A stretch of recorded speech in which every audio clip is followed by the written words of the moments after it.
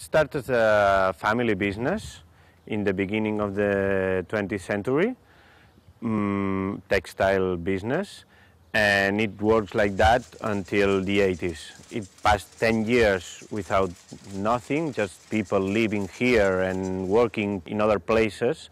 And in 1994, 1995, it started the, the Museu de la Colònia Vidal to show the Colonia as a museum. And it's like a, a, a live museum because it's not a, a place with a building that you get in and you just walk inside this building.